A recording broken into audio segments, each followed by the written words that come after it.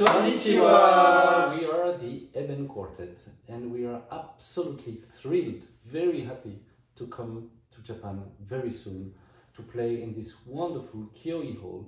Um, it's been a long time, it's been three years already we haven't been there. It's one of our favorite country and we are so excited. We will play wonderful Uh, music. Yes, wonderful music, wonderful classical repertoire, including Mozart, Haydn, Shostakovich, Janacek, Schumann, but also some new jazz arrangements we are just building for you today.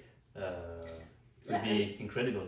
And Japan is so special also for us because uh, for, for it was the first concert we played all four. I, I was I joined them for my first time in the Ébène Quartet, so we are really happy to come back.